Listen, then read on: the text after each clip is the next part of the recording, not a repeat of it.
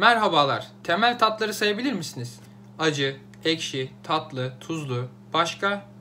Büyük ihtimal ismini ilk defa duyacağınız iki tat daha var. Birincisinin adı umami, ikincisinin adı ise kokumi. Öncelikle beşinci tadımız umami ile başlayalım. Umami kelimesi Japonca'da hoşa giden tat anlamına gelmektedir. 1908 yılında Japon kimyager Ikeda tarafından keşfedilmiş, 5. tat olarak literatüre girmesi ise 2009 yılını bulmuştur. Hoşa giden tat insanlık tarafından glutamatlı besinler yani fermente ürünler, et, tahıl ve baklagiller gibi doğal gıdaların içerisinde tüketilmekte. Ayrıca umami tadıyla zenginleştirilmiş mutfaklar da çokça tercih edilmekte. İtalyan mutfağı, Çin mutfağı, Fransız mutfağı buna örnek olarak verilebilir. Bildiğiniz üzere tatlı besinler dilin ucu, acılar dilin kökü, ekşi ve tuzlularsa dilin yan tarafları tarafından ayırt edilmekte. Peki umami dilin hangi kısmı tarafından algılanmakta? Umami tadın ağızda sulanmasını ve tüyle gibi bir hisse neden olarak boğazın, ağzın arka ve tepe kısmının uyarılmasına neden olan bir tattır.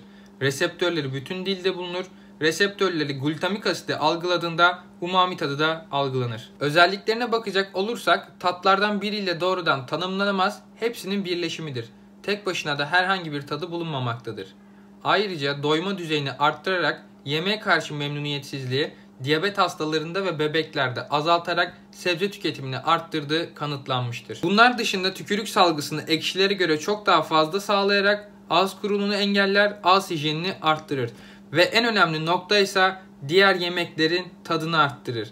Bu yüzden de endüstride sıkça tercih edilmektedir. Hazır çorbalar, cipsler, yemek harçları, soya sosları, hamburger ekmekleri, sosis, salam, sucuk liste böyle uzayıp gidiyor. Eğer ki etiketinde monosodyum glutamat veya kısaltılmış adıyla MSG bulunuyorsa umami tadı da var demektir. Monosodyum glutamat hakkındaki detaylı bilgiyi 3 gün sonra yayınlayacağım videoda bulabilirsiniz. Gelelim 6. tat duyusu olan kokumiye. Kokumi 1989 yılında Japon bilim insanları tarafından keşfedildi. Japonca'da zengin tat anlamına gelmektedir. Dilde bulunan kalsiyum reseptörlerini uyaran besinler kokumi tadını verir. Bu reseptörler dilin her bölgesinde bulunur. Kokumi 2016 yılında 6. tat olarak kabul edilmiş, umami gibi özellikleri olmadığından veya henüz keşfedilmediğinden dolayı endüstride çokça yer almamaktadır. Ancak inovasyon çalışmaları devam etmektedir.